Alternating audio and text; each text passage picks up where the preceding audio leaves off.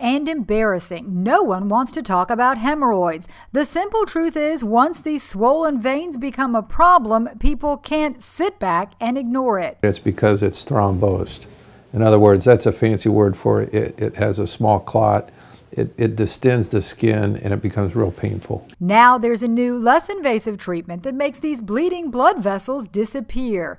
Where surgery used to be the only option, the FDA approved a bipolar device that destroys the troublemaker. We still have to put the patient to sleep, but bipolar is a fancy way of saying energy goes from one part of the device to another. This procedure requires one session and patients go home the same day, compared to traditional surgery, which cuts out the offending clot, leaving patients with an uncomfortable healing process. The bipolar method is cutting edge treatment with no cutting. It shrinks the blood flow into the hemorrhoid which then shrinks the internal hemorrhoids. It doesn't extend deeper to involve the muscle tissue, so there's no surgery in terms of cutting out the tissue.